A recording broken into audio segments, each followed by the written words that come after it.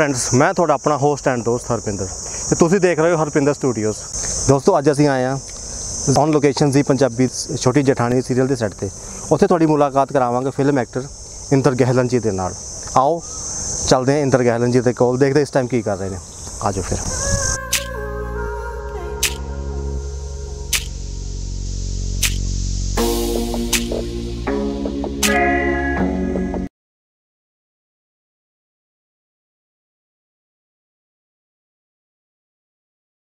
ਜੀ welcome to our show ਕਿੱਦਾਂ ਦਾ ਲੱਗ ਰਿਹਾ ਸਾਡੇ ਸ਼ੋਅ ਦੇ ਵਿੱਚ ਆ ਕੇ? ਮੱਝ ਜੀ ਬਹੁਤ ਵਧੀਆ ਲੱਗਾ ਮੈਨੂੰ ਅੱਜ। ਮੇਰੀ ਕਾਫੀ ਇੱਛਾ ਸੀਗੀ ਕਿ ਮੈਂ ਤੁਹਾਡੇ ਨਾਲ ਇੰਟਰਵਿਊ ਕਰਾਂ ਤੇ ਮੇਰੀ ਜ਼ਿੰਦਗੀ ਦੀ ਪਹਿਲੀ ਇੰਟਰਵਿਊ ਆ। ਅੱਛਾ ਵੈਰੀ ਤੇ ਹਾਂਜੀ।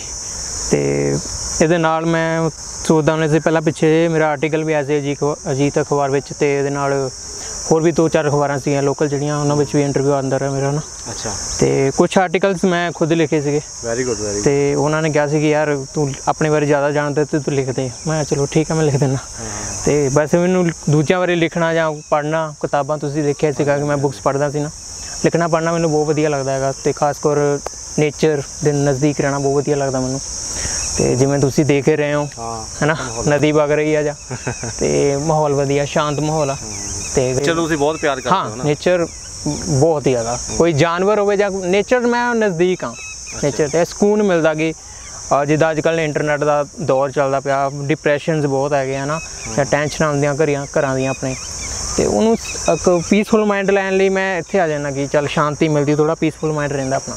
ਓਕੇ ਤੇ ਉਹ ਚੀਜ਼ਾਂ ਲਈ ਠੀਕ ਆ। ਜੀ। ਜਿਨ ਜਿਹੜਾ ਆਰਟਿਸਟ ਸਭ ਤੋਂ ਜ਼ਿਆਦਾ ਬੁੱਕਸ ਵੀ ਪੜ੍ਹਦਾ ਹੁੰਦਾ ਉਹ ਬਹੁਤ ਅੱਛਾ ਉਹਨੂੰ ਡੀਪਲੀ ਜਾਂਦਾ ਹੁੰਦਾ। ਉਸ ਕੰਮ ਦੇ ਵਿੱਚ। ਜੀ ਜੀ ਜੀ ਬਿਲਕੁਲ। ਐਜ਼ ਐਨ ਆਰਟਿਸਟ ਸਾਨੂੰ ਬੁੱਕ ਕਿਤਾਬਾਂ ਪੜ੍ਹਨੀਆਂ ਬਹੁਤ ਜ਼ਰੂਰੀ ਆ ਕਿਉਂਕਿ ਬੇਸ਼ੱਕ ਮੈਂ ਪੜ੍ਹਾਈ ਵਿੱਚ ਵੀ ਥੋੜਾ ਮਤਲਬ ਕਿ ਐਵਰੇਜ ਆਪਾਂ ਰਹੇ ਹੋਵੇਂ ਜਿੱਦਾਂ ਹਨਾ? ਬਟ ਆਪਾਂ ਹੁਣ ਪਤਾ ਲੱਗ ਰਿਹਾ ਕਿ ਯਾਰ ਕਿਤਾਬਾਂ ਪੜ੍ਹਨੀਆਂ ਕਿੰਨੀਆਂ ਜ਼ਰੂਰੀ ਆ ਨਾ ਕਿ ਸਾਡੀ ਆਬਜ਼ਰਵੇਸ਼ਨ ਪਾਵਰ ਇੰਨੀ ਹੋਣੀ ਚਾਹੀਦੀ ਜਾਂ ਕੁਝ ਵੀ ਇਮੇਜਿਨੇਸ਼ਨ ਸਟਰੋਂਗ ਕਰਦੀ ਹੈ ਸਾਡੀ। ਕੋਈ ਵੀ ਆਪਾਂ ਚੀਜ਼ ਨੂੰ ਇਦਾਂ ਕੈਰੀ ਨਹੀਂ ਕਰ ਸਕਦਾ। ਕੋਈ ਵੀ ਸੀਨ ਕਰ ਰਹੇ ਆ ਉਹਨੂੰ ਬਿਨਾਂ ਕਿਤਾਬਾਂ ਤੋਂ ਪੜ੍ਹੇ ਮੈਨੂੰ ਨਹੀਂ ਲੱਗਦਾ ਕਿ ਕੋਈ ਬੰਦਾ ਅੱਜ ਤੱਕ ਇਦਾਂ ਦਾ ਐਕਟਰ ਬਣਿਆ ਹੋਵੇ ਜਿਹੜਾ ਬਿਨਾਂ ਕਿਤਾਬਾਂ ਪੜ੍ਹੇ ਐਕਟਰ ਬਣ ਗਿਆ ਕਿਤਾਬਾਂ ਬਹੁਤ ਜ਼ਰੂਰੀ ਆ ਸਾਡੇ ਲਈ। ਬਿਲਕੁਲ ਬਿਲਕੁਲ। ਅੱਛਾ ਆਪਾਂ ਐਕਟਰ ਦੀ ਗੱਲ ਕੀਤੀ ਇੰਦਰ ਗਹਿਲਨ ਜੀ ਤੁਹਾਡਾ ਜਿਹੜਾ ਐਜ਼ ਐਨ ਐਕਟਰ ਜਿਹੜਾ ਕੈਰੀਅਰ ਆ ਉਹ ਕਿੱਦਾਂ ਸਟਾਰਟ ਹੋਇਆ? ਐਜ਼ ਐਨ ਐਕਟਰ ਕੈਰੀਅਰ ਤਾਂ ਜੀ ਜਿਵੇਂ ਬਚਪਨ ਤੋਂ ਹੀ ਸੀਗਾ ਮੈਨੂੰ ਕਿ ਫਿਲਮਾਂ ਦੇਖਦਾ ਹੁੰਦਾ ਸੀ ਮੈਂ। ਮੈਂ ਤੋਂ ਕਿਤਾਬਾਂ ਘੱਟ ਤੇ ਫਿਲਮਾਂ ਦੀਆਂ ਸੀਰੀਜ਼ ਜ਼ਿਆਦਾ ਹੁੰਦੀਆਂ ਸੀਗੀਆਂ। ਤੇ ਮੈਂ ਗੁਆਂਢੀਆਂ ਦੇ ਘਰੇ ਜਾਣਾ ਤੇ ਉਹਨਾਂ ਦੇ ਘਰੇ ਸਾਡੇ ਟੀਵੀ ਤਾਂ ਹੁੰਦਾ ਹੀ ਸੀਗਾ ਬਟ ਵੀਸੀਡੀ ਇਹਨਾਂ ਘਰੋਂ ਇਹਨਾਂ ਠੀਕ ਠਾਕ ਹੀ ਸੀਗੇ ਆਪਾਂ। ਤੇ ਫਿਰ ਮੈਂ ਉਹਨਾਂ ਦੇ ਕੋਲ ਜਾਣਾ ਤੇ ਮੈਂ ਕਹਣਾ ਯਾਰ ਫਿਲਮਾਂ ਦੇਖਣੀਆਂ। ਉਹਨਾਂ ਨੂੰ ਬੜਾ ਸ਼ੌਂਕ ਹੁੰਦਾ ਸੀ ਉਸ ਟਾਈਮ ਪੰਜਾਬੀ ਫਿਲਮਾਂ ਉਸ ਟਾਈਮ ਪੰਜਾਬੀ ਹਾਲੀਵੁੱਡ ਜ਼ਿਆਦਾ। ਅੱਛਾ ਹਾਲੀਵੁੱਡ ਹਾਂ ਹਾਲੀਵੁੱਡ ਦਾ ਮੈਂ ਫੈਨ ਹੀ ਹਾਲੀਵੁੱਡ ਦਾ ਸੀਗਾ ਕਿ ਉਹ ਜੋ ਇੱਕ ਚੀਜ਼ ਵਿਊ ਪ੍ਰੈਜ਼ੈਂਟ ਕਰਦੇ ਨਾ ਉਹ ਇੱਧਰ ਹੱਲੇ ਉਹ ਚੀਜ਼ ਨੂੰ ਨਹੀਂ ਕਰ ਪਾਏ ਜਾਂ ਹੌਲੀ ਹੌਲੀ ਹੋ ਰਿਹਾ ਹੈ। ਨਾ ਤੇ ਉਹ ਚੀਜ਼ ਨੇ ਮੈਨੂੰ ਬੜਾ ਆਕਰਸ਼ਿਤ ਕੀਤਾ। ਪਹਿਲੀ ਫਿਲਮ ਮੈਂ ਹੈਰੀ ਪੋਟਰ ਦੇਖੀ ਸੀ ਆਪਣੇ। ਤੇ ਹੈਰੀ ਪੋਟਰ ਸੀ ਜੁਮਾਨਜੀ ਸੀ। ਹਾਂ ਹਾਂ ਉਹਨਾਂ ਫਿਲਮਾਂ ਨੇ ਮੈਨੂੰ ਬੜਾ ਆਕਰਸ਼ਿਤ ਜਿਹੜਾ ਪਹਿਲਾ ਕੀਤਾ। part ਆਇਆ। ਜੀ ਪਹਿਲਾ ਪਾਰਟ ਆਇਆ ਸੀ। ਉਹ ਉਦੋਂ ਸਾਡਾ ਵੀ ਬਚਪਨਾ ਸੀ ਤੇ ਉਹ ਫਿਲਮਾਂ ਬੜੀਆਂ ਵਧੀਆ ਲੱਗਦੀਆਂ ਸੀ। ਹੈਰੀ ਪੋਟਰ ਅੱਜ ਵੀ ਮੇਰੀ ਫੇਵਰਟ ਆ। ਤੇ ਉਹ ਫਿਰ ਮੈਂ ਦੇਖਿਆ ਕਿ ਯਾਰ ਮੈਂ ਰੋਜ਼ ਹੀ ਚਲਾ ਜਾਣਾ ਉਹਨਾਂ ਦੇ ਘਰ ਰਾਤ ਦੇ 12 12 ਵਜੇ ਤੱਕ ਫਿਲਮਾਂ ਦੇਖਣੀਆਂ। ਗਦਰ ਫਿਲਮ ਉਦੋਂ ਬੜਾ ਕ੍ਰੇਜ਼ ਚੱਲਿਆ ਸੀ ਉਸ ਟਾਈਮ ਗਦਰ ਫਿਲਮ ਆਪਾਂ ਰਾਤ ਦੇ 1 ਵਜੇ ਦੇਖਦੇ ਰਹੇ ਸੀਗੇ। ਤੇ ਉਹ ਚੀਜ਼ਾਂ ਮਤਲਬ ਕਿ ਬਹੁਤ ਜ਼ਿਆਦਾ ਰੱਖਾ। ਫਿਰ ਮੈਂ ਇੱਕ ਟਰੰਕ ਰੱਖਿਆ ਹੁੰਦਾ ਸੀ ਘਰ ਘਰ 'ਚ। 10 ਉਸ ਨਾ ਡੁਪਲੀਕੇਟ ਸੀਡੀਜ਼ ਆਉਣ ਲੱਗ ਪਈਆਂ ਸੀਗੀਆਂ। ਤੇ ਮੈਂ ਗਿਆ ਉੱਥੇ ਮੈਂ ਸਾਈਕਲ ਤੇ ਜਾਣਾ ਤੇ ਉੱਥੋਂ ਸੀਡੀਜ਼ ਖਰੀਦ ਕੇ ਲਿਆਣੀਆਂ ਤੇ ਉਹਨਾਂ ਨੇ ਕਹਿਣਾ ਯਾਰ ਤੂੰ ਇੰਦਰ ਆ ਫਿਲਮ ਆਈ ਉਹ ਮੈਂ ਨੰਬਰ ਲੈ ਲਿਆ ਸੀ ਉਸ ਬੰਦੇ ਦਾ। ਉਹ ਮੈਨੂੰ ਕਹਿਣਾ ਕਿ ਇੰਦਰ ਨਵੀਂ ਫਿਲਮ ਆਈ ਆ ਮੈਂ ਲੈ ਆਣੀ ਤੇ ਉਹ ਲੈ ਏਦਾਂ ਹੀ ਲਿਆ ਕੇ ਦੇਖੀ ਜਾਣੀਆਂ ਫਿਲਮਾਂ ਤੇ ਉਹ ਬੜਾ ਵਧੀਆ ਸੀ ਉਹ ਚੀਜ਼। ਅੱਜ ਵੀ ਉਹਨਾਂ ਮਾਹੌਲ ਹੀ ਬਹੁਤ ਵਧੀਆ ਸੀਗਾ ਹਾਂ ਬਚਪਨ ਬਹੁਤ ਵਧੀਆ ਸੀ ਇੰਟਰਨੈਟ ਘੱਟ ਸੀ ਸਾਨੂੰ ਸੋਚ ਨਹੀਂ ਸੀਗੀ। ਇੰਟਰਨੈਟ ਤਾਂ 8-9 ਵਿੱਚ ਆਇਆ ਸੀ ਹੈਨਾ 2008-9 ਵਿੱਚ ਹੀ ਆਇਆ ਹੋਊਗਾ। ਤੇ ਜਦੋਂ ਮੈਨੂੰ ਆਪਣੇ ਹੱਥ ਮੋਬਾਈਲ ਆਏ ਸਾਨੂੰ ਤਾਂ ਉਦੋਂ ਹੀ ਪਤਾ ਲੱਗਿਆ ਹਾਂ ਆਹ ਚੀਜ਼ ਆ ਫੇਸਬੁੱਕ ਹੁੰਦੀ WhatsApp ਹੁੰਦਾ ਜੋ ਵੀ ਅੱਜ ਕੱਲ ਚੱਲ ਰਿਹਾ ਸੋਸ਼ਲ ਮੀਡੀਆ ਤੇ ਉਹ ਚੀਜ਼ਾਂ ਬਟ ਬਚਪਨ ਬਹੁਤ ਵਧੀਆ ਸੀ। ਅੱਜ ਤਾਂ ਥੋੜਾ ਡਿਪਰੈਸ਼ਨ ਆ, ਉਹ ਚੀਜ਼ਾਂ ਹੀ ਬਾਰ-ਬਾਰ ਆਈ ਜਾ ਰਹੀਆਂ, ਲੋਕੀ ਦੁਖੀ ਆ, ਹਰ ਕੋਈ ਆਪਣੀਆਂ ਸਟੋਰੀਆਂ ਪਾਉਂਦਾ ਰਹਿੰਦਾ ਕਿ ਮੈਂ ਇੰਨਾ ਦੁਖੀ ਹਾਂ ਨਾ। ਮੈਂ ਜ਼ਿੰਦਗੀ 'ਚ ਪਹਿਲਾਂ ਮੇਰਾ, ਬੇਸ਼ੱਕ ਮੇਰੀ ਜ਼ਿੰਦਗੀ ਜਿੰਨੀ ਮੈਂ ਮਰਜ਼ੀ ਟ੍ਰੈਜੇਡੀ ਰਹੀ ਹੋਵੇ ਬਟ ਮੈਂ ਕਦੀ ਫੇਸਬੁੱਕ ਤੇ ਦਿਖਾਇਆ ਨਹੀਂ ਸ਼ੋ ਆਫ ਨਹੀਂ ਕੀਤਾ ਕਿ ਮੈਂ ਇੰਨਾ ਇੰਨਾ ਦੁਖੀ ਹਾਂ ਜਾਂ ਮੈਂ ਇੰਨੀ ਸਟਰਗਲ ਕਰ ਰਿਹਾ। ਉਹ ਚੀਜ਼ ਆਪਣੀ ਤੁਹਾਡੀ ਪਰਸਨਲ ਆ। ਉਹਨੂੰ ਤੁ- ਤੁਸੀਂ ਮੇਰੀ ਪ੍ਰੋਬਲਮ ਨੂੰ ਹੱਲ ਨਹੀਂ ਕਰ ਸਕਦੇ, ਮੈਨੂੰ ਹੌਸਲਾ ਦੇ ਸਕਦੇ ਆ। ਮੇਰੀ ਜਗ੍ਹਾ ਆ ਕੇ ਖੜ ਨਹੀਂ ਸਕਦੇ ਤੁਸੀਂ ਕਿ ਯਾਰ ਪ੍ਰੋਬਲਮ ਦਾ ਹੱਲ ਤੁਹਾਨੂੰ ਆਪਣੀ ਆਪ ਕੱਢਣਾ ਪਏਗਾ ਹਨਾ? ਵੀ ਉਹ ਚੀਜ਼ਾਂ ਨੂੰ ਇਹ ਚੀਜ਼ਾਂ ਸਾਨੂੰ ਸਟਰੋਂਗ ਬਣਾਉਂਦੀਆਂ। ਇਹ ਚੀਜ਼ਾਂ ਸਾਨੂੰ ਸਟਰੋਂਗ ਬਣਾਉਂਦੀਆਂ। ਜਦ ਤੱਕ ਆਪਾਂ ਸਟਰੋਂਗ ਨਹੀਂ ਬਣਾਂਗੇ ਤਦੋਂ ਤੱਕ ਉਹ ਜਦੋਜਹਿਦ ਚੱਲਦੀ ਰਹੇਗੀ। ਸਿੰਦਰ ਜੀ ਜਦੋਂ ਤੁਸੀਂ ਆਪਣਾ ਜਦੋਂ ਐਜ਼ ਐਕਟਰ ਦਾ ਸਫ਼ਰ ਸ਼ੁਰੂ ਕੀਤਾ ਆਪਣੇ ਪੇਰੈਂਟਸ ਨੂੰ ਦੱਸਿਆ ਕਿ ਮੈਂ ਮੰਮੀ ਪਾਪਾ ਜੀ ਮੈਂ ਮੈਂ ਹੋਰ ਨਹੀਂ ਕੁਝ ਕਰਨਾ ਮੈਂ ਐਕਟਰ ਬਣਨਾ ਤਾਂ ਫਰਸਟ ਐਕਸ਼ਨ ਕੀ ਸੀ ਉਹਨਾਂ ਦਾ? ਨਹੀਂ ਉਹਨਾਂ ਨੇ ਸੀਗਾ ਹੀ ਸੀ ਉਹਨਾਂ ਨੂੰ ਮੇਰਾ ਛੋਟਾ ਬ੍ਰਦਰ ਆ ਉਹ ਮੈਨੂੰ ਥੋੜਾ ਛੇੜਦਾ ਰਹਿੰਦਾ ਹੈ ਕਿ ਤੂੰ ਐਕਟਰ ਬਣਨਾ ਹੈ ਨਾ ਇਹ ਆ ਉਹ ਹੈ ਨਾ। ਤੇ ਬਟ ਮੈਨੂੰ ਮੈਂ ਡਿਸੀਜਨ 2016 ਵਿੱਚ ਲੈਣਾ ਸ਼ੁਰੂ ਕਰ ਦਿੱਤਾ ਹੈਗਾ ਕਿ ਮੈਂ ਹੁਣ ਐਕਟਰ ਹੀ ਬਣਨਾ। ਮੈਨੂੰ ਜਦੋਂ ਮੈਂ ਪੜਦਾ ਸੀ ਉਦੋਂ ਆਰਮੀ ਦਾ ਜ਼ਿਆਦਾ ਸ਼ੌਂਕ ਹੁੰਦਾ ਸੀ ਨਾ। ਤੇ ਘਰ ਦੇ ਕਹਿੰਦੇ ਯਾਰ ਤੂੰ ਆਰਮੀ 'ਚ ਭਰਤੀ ਹੋ ਜਾ ਤੂੰ ਕੱਦ ਕਾਠ ਠੀਕ ਆ ਤੇਰਾ ਨਾ ਤੂੰ ਹੋ ਸਕਦਾ ਆ। ਤੇ ਮੈਂ ਭਰ- ਭਰਤੀਆਂ ਭੁਰਤੀਆਂ ਦੇਖੀਆਂ ਬਟ ਦੋ ਵਾਰੀ ਤਾਂ ਉਦਾਂ ਹੀ ਦੌੜ ਦੌੜ ਨਿਕਲੀ ਆਪਣੇ ਕੋਲ ਝੂਠ ਕਾਹਨੂੰ ਬੋਲਣਾ। ਤੇ ਤੀਜੇ ਵਾਰ ਦੌੜ ਕੱਢ ਗਿਆ ਸੀ ਮੈਂ, ਫਿਰ ਮੈਡੀਕਲ ਚ ਤੁਹਾਨੂੰ ਪਤਾ ਅੱਜ ਕੱਲ ਉਹ ਚੀਜ਼ ਗੱਲ ਨਹੀਂ ਬਣੀ। ਮਤਲਬ ਕਿ ਮੈਂ ਜਾਣਾ ਹੀ ਨਹੀਂ ਚਾਹੁੰਦਾ ਸੀ ਸਿੱਧਾ। ਮੇਰਾ ਮੇਨ ਫੋਕਸ ਸੀ ਯਾਰ ਫਿਲਮ ਲਾਈਨ ਜਾਣਾ, ਮੈਂ ਫਿਲਮ ਲਾਈਨ 'ਚ ਜਾਣਾ। ਤੇ ਕੁਦਰਤੀ ਫੇ ਮੈਂ ਘਰਦਿਆਂ ਨੂੰ ਕਿਹਾ ਕਿ ਮੇਰੇ ਕਜ਼ਨ ਬ੍ਰਦਰ ਆ ਮੁਖਤਿਆਰ ਸਿੰਘ, ਤੇ ਉਹਨਾਂ ਨੂੰ ਮੈਂ ਕਿਹਾ ਗੱਡੀ 'ਚ ਆਉਂਦੇ ਹੋਏ ਆਪਾਂ ਵਾ ਕਿ ਭਾਜੀ ਮੈਂ ਐਜ਼ ਐਨ ਐਕਟਰ ਕੰਮ ਕਰਨਾ ਚਾਹੁੰਦਾ। ਉਹ ਕਹਿੰਦੇ ਕਿ ਦੇਖ ਲਾ, ਇਹ ਫੀਲਡ ਵਿੱਚ ਸਟਰਗਲ ਬਹੁਤ ਆ। ਮੈਂ ਕਿਹਾ, ਮੈਂ ਸਟਰਗਲ ਤੋਂ ਨਹੀਂ ਡਰਦਾ ਹੈਗਾ। ਮੇਰੀ ਜ਼ਿੰਦਗੀ ਤੋਂ ਔਖੀ ਫਿਲਮ ਲਾਈਨ ਮੇਰੀ ਜ਼ਿੰਦਗੀ ਤੋਂ ਔਖੀ ਨਹੀਂ ਹੈਗੀ। ਠੀਕ ਆ, ਮੈਨੂੰ ਇਹ ਹੈਗਾ, ਕਿਉਂਕਿ ਫਿਲਮ ਲਾਈਨ ਮੇਰੇ ਲਈ ਉਹ ਨਹੀਂ ਹੈਗਾ ਕਿ ਯਾਰ ਮਰ ਗਏ, ਟੁੱਟ ਗਏ, ਉਹ ਚੀਜ਼ ਨਹੀਂ ਹੈਗੀ ਜਿੱਦਾਂ ਹੋਰ ਆਰਟਿਸਟ ਕਰਦੇ ਆ। ਕਿਉਂਕਿ ਮੈਨੂੰ ਆਪਣੇ ਆਪ ਤੇ ਭਰੋਸਾ ਤੇ ਰੱਬ ਤੇ ਭਰੋਸਾ ਮੈਂ ਦੋ ਚੀਜ਼ਾਂ ਤੇ ਭਰੋਸਾ ਕਰਦਾ ਹੋਰ ਕਿਸੇ ਤੇ ਨਹੀਂ ਕਰਦਾ। ਮੈਂ ਕਿਸੇ ਤੇ ਉਹ ਨਹੀਂ ਹੈਗਾ ਕਿ ਯਾਰ ਤੈਨੂੰ ਮੈਂ ਕਰਾ ਦੂੰਗਾ, ਮੈਂ ਉੱਤੇ ਨਹੀਂ ਰਹਿਣਾ। ਮੈਨੂੰ ਪਤਾ ਮੈਂ ਕਰ ਜਾਣਾ। ਮੈਨੂੰ ਉਹ ਨਹੀਂ ਹੈਗਾ ਕਿ ਆਪਣੇ ਉੱਤੇ ਇੰਨਾ ਕੌਨਫੀਡੈਂਸ ਹੋਣਾ ਚਾਹੀਦਾ ਬੰਦੇ ਨੂੰ। ਬੇਸ਼ੱਕ ਤੁਹਾਨੂੰ ਜ਼ੀਰੋ ਤੋਂ ਸ਼ੁਰੂਆਤ ਕਰਨੀ ਪਵੇ, ਪਰ ਤੁਸੀਂ ਕਰ ਸਕਦੇ ਆ ਸ਼ੁਰੂਆਤ ਜ਼ੀਰੋ ਤੋਂ ਹੀ ਕਰਨੀ ਚਾਹੀਦੀ ਹੈ ਹਾਂ ਜ਼ੀਰੋ ਤੋਂ। ਤੋਂ। ਫਿਰ ਪਤਾ ਲੱਗ ਜਾਂਦਾ ਆਪਾਂ ਕਿੰਨੇ. ਜਾ ਸਕਦੇ ਕਿੰਨਾ ਜਾ ਸਕਦੇ ਕਿੰਨਾ ਨਹੀਂ। ਹੁਣ ਆ ਹਲੇ 2017 ਵਿੱਚ ਹੀ ਮੇਰਾ ਪਹਿਲੇ ਐਜ਼ ਐਨ ਐਕਟਰ ਮੈਂ ਐਜ਼ ਅ ਮਾਡਲ ਆਇਆ ਸੀਗਾ ਪਹਿਲਾ ਗਾਣਾ ਸੀਗਾ ਉਦੋਂ। ਉਹ ਪ੍ਰਵਾਜ਼ ਰੰਗਮੰਚ ਮੇਰੇ ਹੈਗੇ ਆ ਫਰੈਂਡ ਸੌਰੀ ਫਰੈਂਡ ਕਹਤਾ ਮੈਂ। ਅਹ, ਰੀਤਾ ਦੇਵਗਨ? ਹਾਂ। ਅਨੀਤਾ ਦੇਵਗਨ ਮੈਮ ਨਾਲ ਤਾਂ ਮੈਂ ਅ, 2017 ਵਿੱਚ ਐਜ਼ ਅ ਫੇਸਬੁੱਕ ਤੋਂ ਹੀ ਉਹਨਾਂ ਨੂੰ ਮੈਂ ਭੇਜੀ ਸੀ ਰਿਕੁਐਸਟ ਉਹਨਾਂ ਦੇ ਫੇਸ ਪੇਜ ਤੇ। ਤੇ ਉਹਨਾਂ ਨੂੰ ਉਦੋਂ ਗੁੱਚੀ ਮੁੱਚੀ ਅਕੈਡਮੀ ਓਪਨ ਕੀਤੀ ਸੀ ਉਹਨਾਂ ਨੇ ਅੰਮ੍ਰਿਤਸਰ। ਉਹਨਾਂ ਦੇ ਹਸਬੰਡ ਦਾ ਹੈਗੇ ਹਰਦੀਪ ਗਿੱਲ। ਤੇ ਉਹਨਾਂ ਨੂੰ ਮੈਂ ਕਿਹਾ ਕਿ ਮੈਂ ਕਿਹਾ ਮੈਮ ਮੈਂ ਐਜ਼ ਐਨ ਐਕਟਿੰਗ ਸਿੱਖਣੀ ਚਾਹੁੰਦਾ ਕਿ ਐਜ਼ ਐਨ ਐਕਟਰ ਬਣਨਾ ਚਾਹੁੰਦਾ।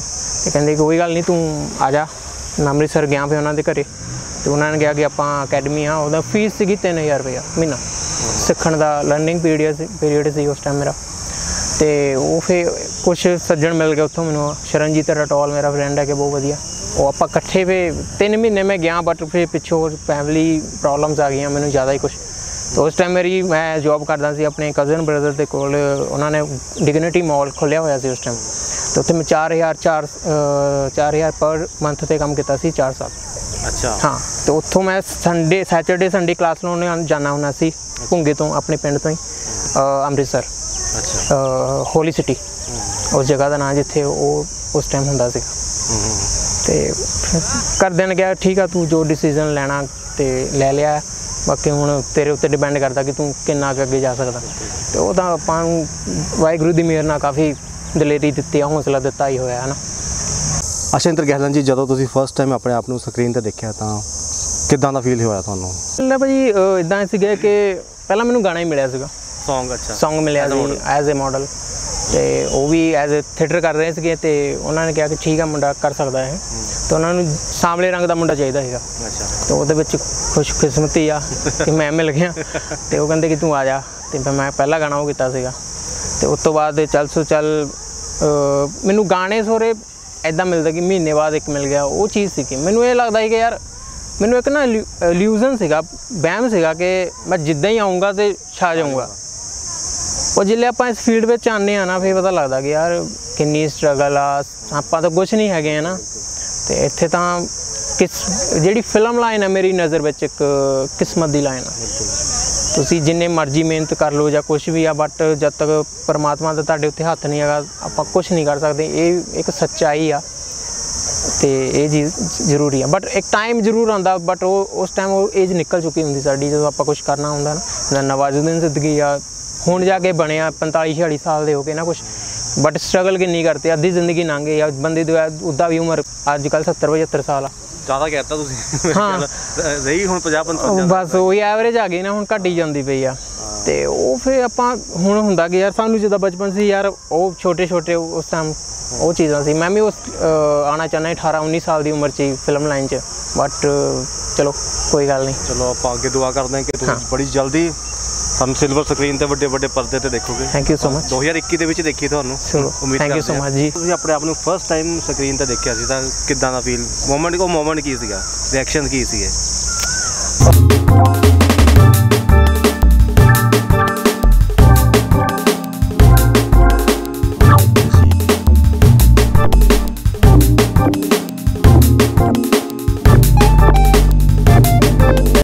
ਬਹੁਤ ਵਧੀਆ ਸੀ।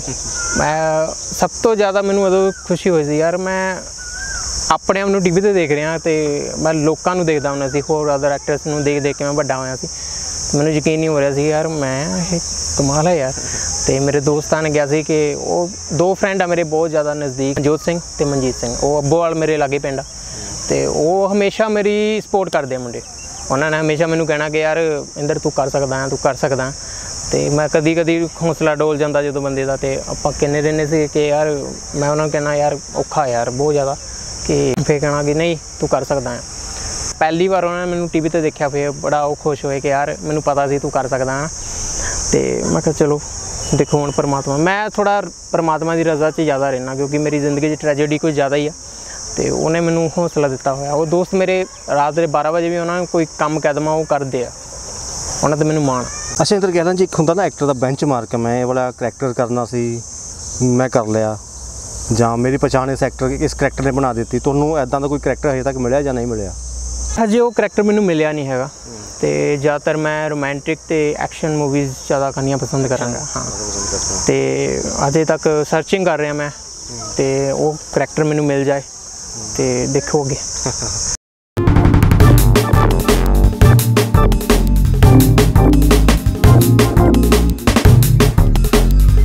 ਖੇਲਾਂਗੇ ਫਟਾਫਟ ਰਾਉਂਡ ਆਪਾਂ।